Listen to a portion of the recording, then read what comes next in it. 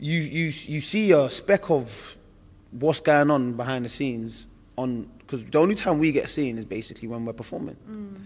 And you have a bad performance, and it's like, oh mate, you're done. You're you're trash, or you're rubbish, or you're you lot are mocking it. You don't need to move gym. They don't know what's going on over there. You don't see the work that goes on behind the scenes. Mm. Like it, it, there's a lot of work that goes on behind the scenes, and you got to remember the person standing opposite the ring of us has worked just as hard. Like someone's got to win, someone's got to lose. They've worked just as hard. You can't just come because you don't know that guy's name, or that guy's meant to be someone else.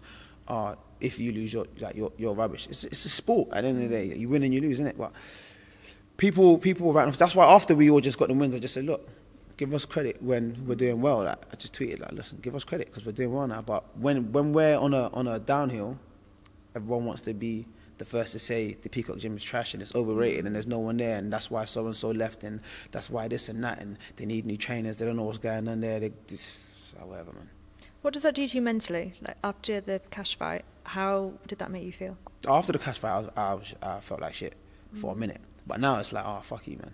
Not the Cash, but I mean like everyone else. Do you know what I mean? There's ev- like everyone else. But yeah, after that, I just felt shit for long. I was like, bro, what am I gonna do? Like, what am I actually gonna do? Because there's just there's, there's loads of factors that went into that fight as mm. to why, you know, the result was the result. I'm not saying, oh, if things were different, I would have won, even though I, I want to say that. But I'm just saying I probably wouldn't have lost in that manner if I was to have lost. But I mm. feel like there was a lot of things behind the scenes that just, it just, it just, it just weren't right.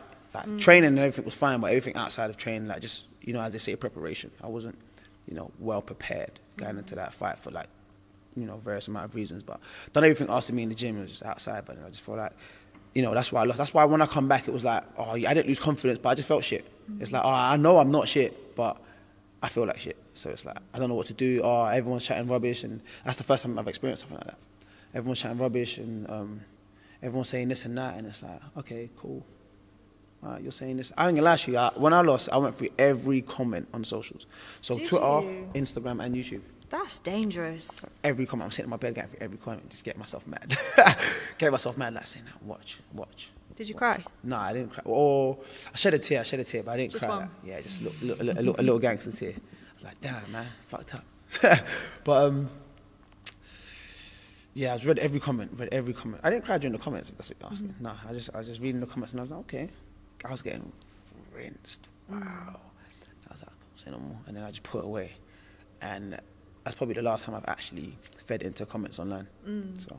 It's a, it's a slippery slope, I think, once you start and you kind of get. It's almost like a little addiction, isn't it? It's, it gives you a little hit and then you just can't stop. Yeah, yeah, and I just want to see what everyone was saying. But now it's like whenever someone says something, I, I almost laugh as well. I laugh like, oh, right, that's funny. I see it as banner, but it's like they don't know me, so I shouldn't take it personally. I always feel like it's when somebody you don't know tries to tell you about yourself. Yeah, that, that's annoying. Mm. That's annoying. When someone you don't know tries to tell you, you I know you watch him. when, when that happens, like, that's annoying. But when you're talking about my boxing, just laugh like, oh, you, you, mm. you don't know what I'm doing, so it's fine.